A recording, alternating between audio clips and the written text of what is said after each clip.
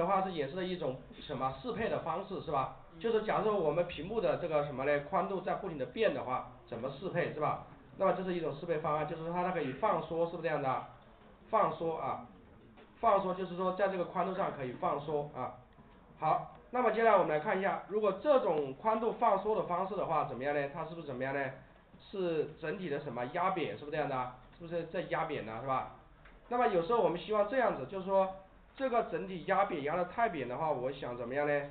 它是不是我感觉每一个太扁了是吧？我可不可以这么做呢？就是说比如说我在压扁的同时怎么样？我想让它这个是四个排的一行吧，如果屏幕的宽度不够的话，我可不可以什么一个排一行排两个是不是可以啊？这样是不是好一点是吧？这样的话是什么呢？就每一个就不至于压的太扁了是吧？就不好看是不是这样的啊？啊不好看啊好，接下来的话我们来看一下另外一种什么适配方案就是什么嘞？这个什么响应式布局啊响应式布局好，来看一下另外一个适配方案啊就是这种响应式布局啊那么我这里再强调一下就是说这个布局的话不是说我们就用一种布局来做所有的布局啊就说我们做一个页面布局的时候，我们是结合好几种啊，有时候比如说把它和它一起结合来做一个整体的布局，明白没有？就说我们一个页面可能会用到用到两种布局的方案来做整体的布局啊。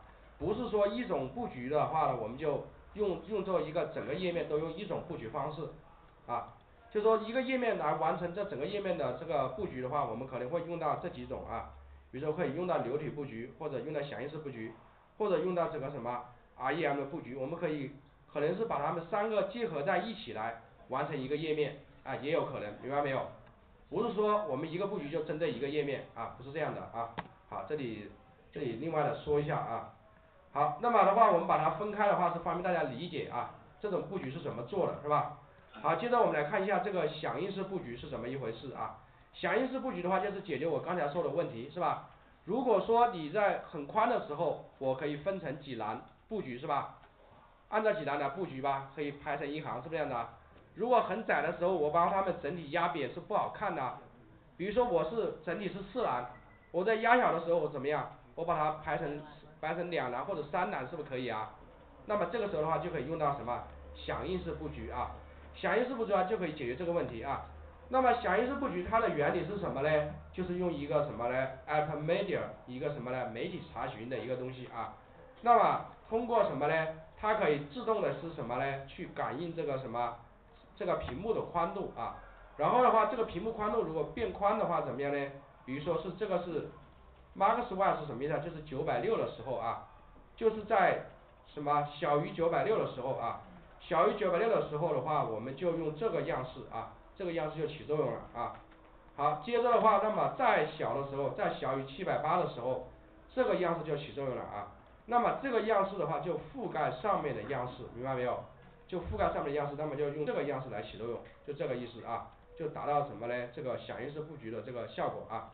好，我们来做一个简单的例子，大家看一下就就知道了啊这个响应式布局。好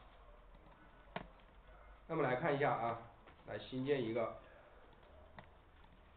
零幺五这个是响应式布局啊响应式布局。好存一下是吧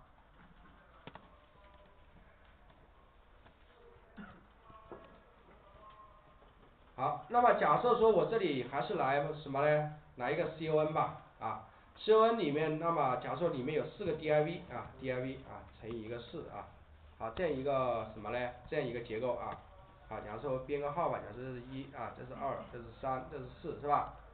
好，同样的我先给它一个样式是吧？好，那么的话我先给什么嘞？先把这个什么嘞这个这个 body 啊 body 我把它清空一下啊 body 的 padding 把它清空一下啊 body 的这个 margin 把它清空一下是吧？margin 啊好 margin 给它一个零是吧？好接着的话那么的话我们来看一下这个 C O N 里面的这个什么嘞 D I V 是不是这样的？D I V 啊好假设说的话它的什么嘞这个宽度啊好宽度假如说是多少嘞？每个宽度假如说是这个嗯宽度假如说给它一个百分之百分之二十三啊，宽度是百分之二十三啊，这可以吧？宽度百分之二十三啊，好，那么的话，同时的话让他们的每一个这个盒子啊，每一个这个盒子，好，然后来一个像来什么嘞？来两个像素边框吧啊 border，然后是两像素，然后实线是吧？来个黑色啊，好，然后背景色的话来个 gold 吧，背景色来个 gold 啊，啊 gold，好，然后的话这个高度的话我给一下啊，高度假如给个给个两百 P X 啊，这么大的一个高度啊，好，接着的话我再给什么嘞？那么我这个宽度给了百分之二十三，我是想给什么嘞？给它的这个整体给它一个 margin 啊，margin 的话实际上也可以什么嘞？给这个什么？给这个这个给这个百分比啊，假如 margin 是百分之一啊，margin 是百分之一，那么什么意思呢？就是整体的这个每个盒子的上下左右都是百分之一的这个 margin 啊，那么的话这个 y 是百分之二十三吧，加左右的百分之一是不是就百分之二十五啊？每个是不是占了什么刚好百分之二十五啊？是这样子啊，啊这样子的，好。好，那么这样的一个 D I V 是吧？这样一个 D I V 啊，然后的话让它 float 来个什么 left 啊，好，好，这样做完之后来看它的效果啊，看下这个效果啊，这个效果大概是这样子是吧？好，这样子之后，那么你说这个每个占百分之二十五，怎么没排成一行啊？border 吧是吧？border 导致它怎么样？大于百分之二十五吧，是吧？好，那么把它设为什么嘞？box sizing 是吧？然后 border box，那么就什么嘞？这个边框就算在这百分之二十五里面去了是吧？算到百分之二十三的里面去了啊，那么这个时候就排成一行了是吧？就排成一行了，好，那么这个时候我把它缩小是吧？好，我这个时候缩小，缩小没问题吧？好，再缩小的时候我希望它怎么样呢？假如说两个排成一行是吧？压的太扁了是不是不好看呢？是吧？假如说我让它两个排成一行是吧？好，这个时候可以怎么样呢？就用到这个媒体查询啊，媒体查询，好，这个怎么写嘞？啊，怎么写啊？好，好，媒体查询是什么意思呢？那么这个媒体查询就是这么写的啊，我现在是从大变小啊，从大变小是吧？从大变小啊，这么变的话，那么就是媒体查询是什么？at media 啊，media。然后是空格啊，然后一个括号，maxwise 啊，maxwise 假如说是来一个什么呢？假如说来一个，假如说是那个呃六百的时候吧，啊六百的时候啊，或者是先先给个大致的吧，假如说八百的时候啊，八百 px 的时候啊，好，这个是什么意思呢？就是假如说是这个屏幕最大的尺寸，最大宽度是八百的时候。它这个是什么意思？就是屏幕小于八百的时候啊，是这个意思啊。假如说屏幕小于宽度小于八百的时候，然后的话用下面的这个样式，明白没有？下面这个样式就起作用了啊。好，这个是点 con 里面的 div 是吧？这个时候假如说我让它的宽度啊，每个的宽度变成什么呢？变成百分之五十，百分之四十，假如说是四十四十六四十六吧啊。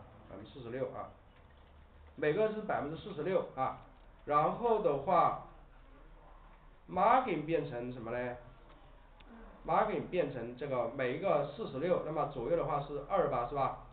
左右是二啊，margin 的话变成百分之二啊，这样一个宽度啊，好这样子的一个宽度啊，好，那么我们来看一下这个可不可以实现啊？好，这样的话我们来看一下啊。好，那么这个写什么意思呢？就是说当屏幕小于百分之八，小于八百的时候怎么样？这个样式是不是起作用了？啊，就是在小于八百的时候这个样式才起作用啊。这个样式起作用之后，那么这个两个的权重值是不是一样的？它们权重值是不是一样的？一样之后，那么这个 y s 就覆盖掉它了，明白没有？这个 y s 就变成了百分之四十六啊，这个 margin 就覆盖掉这个了，是吧？覆盖这个了，好。那么的话，现在的话，那么相当于是一行的话只能放两个 div 吧，一个 div 的宽度是百分之四十六，加上左右二的话就是百分之什么？百分之五十吧，那么只能放两个 div 吧，是这样的，好，我们来看一下可不可以啊？啊这个时候再来看一下啊刷新一下啊，那么屏幕我再缩小啊啊缩小啊好缩小到八百的时候看一下啊是不是啊是不变了啊啊缩小八百的时候啊。好缩小到八百的时候就变成什么嘞？每一个占百分之四十六了吧？是不是刚好怎么样？就是整体就百分之百分之五十啊是吧？好那么假如说我还想变啊如果我再变到这么大的时候我怎么样？我想一个占一行一个占一行是吧？好那这个时候怎么做嘞？啊在小的时候一个占一行啊那么这个时候还怎么样？再写一个这个吧再写一个查询啊。好那么假如说是到了四百的时候是吧？到了到了或者四百的时候啊。四百的时候怎么样呢？就是让这个每一个宽度变成百分之假设是百分之九十九十六吧是吧？或者九十四是吧？九十四啊。然后宽度左右的宽度变成百分之三是不是可以啊？就是我让它的边距稍微变多一点啊。好这个时候的话怎么样呢？当屏幕在小于四百的时候怎么样？这个样子就起作用了吧是吧？那么就是实际上这个样子也起作用吧。好首先是什么呢？它覆盖它是不是这样的啊然后它又覆盖它啊这个就是不是叫层叠样式表啊？啊叠加啊。那么最终每个 DIV 的宽度是九十四然后是吧？百分之三十的宽左右是什么？这个刚好百分之百吧好这样子的啊。好再来看一下啊。刷新一下是吧？现在我接着再把它缩小。是这样子啦。那么这个是不是每个占一行啊？啊这个是不是就可以适配可以实现响应式啊是吧？